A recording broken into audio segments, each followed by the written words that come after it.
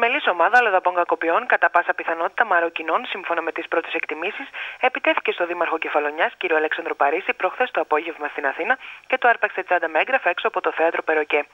Μετά την επίθεση που δέχθηκε ο Δήμαρχος, στο σημείο κατέφτασαν ο υπαρχηγός της Ελλάς, κ. Νίκος Ερέτης, ομάδες Δίας και άλλοι αστυνομικοί. Όπως εξήγησε ο κ. Παρίσι, η αστυνομία εκτιμά ότι το επιτέθηκε τριμελής ομάδα λαδοπών, μάλλον Μαροκινών, από αυτές που έχουν εντοπιστεί να χτυπάνε στην Αθήνα, δρώντας οι δύο, ενώ ο τρίτος κρατάει τσίλιες. Μετά την επίθεση που δέχτηκε ο κ. Παρίσι, πήραν φωτιά τα site και τα τηλέφωνα, ενώ χθες την είδηση μετέδωσαν τηλεοπτική και ραδιοφωνική σταθμή. Τέλος, ο Δήμαρχος δέχτηκε πλήθος τηλεφωνημάτων από το εσωτερικό και το εξωτερικό για το περιστατικό. Στην Κεφαλονιά φτάνει αύριο ο Περιφερειάρχης Ιωνίων Νήσων, κ. Σπύρος Σπύρου, ο οποίος θα παραμείνει μέχρι μεθαύριο Κυριακή. Κατά την παραμονή του στο νησί μας, ο κ. Σπύρου και συγκεκριμένα μεθαύριο θα συμμετάσχει στη σύσκεψη που οργανώνει η Νόδο Κεφαλονιάς και Ιθάκη με στόχο την κατάθεση και καταγραφή προτάσεων που αφορούν στα δύο νησιά, προκειμένου οι προτάσεις αυτές να συμπεριληφθούν στο κυβερνητικό πρόγραμμα της Νέας Δημοκρατίας.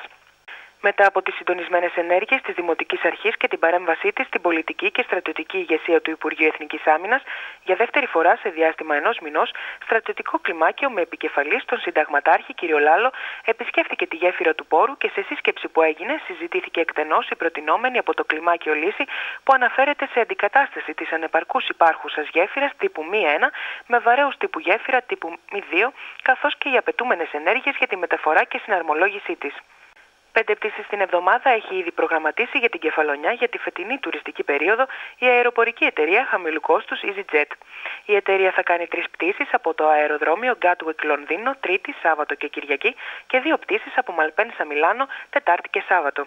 Η Ryanair έχει ήδη προγραμματίσει μία πτήση την εβδομάδα από Πίζα Ιταλία και μία πτήση από Μπέργαμο Βόρεια Ιταλία, ενώ σχεδιάζεται η σύνδεση με τον Düsseldorf Γερμανίας.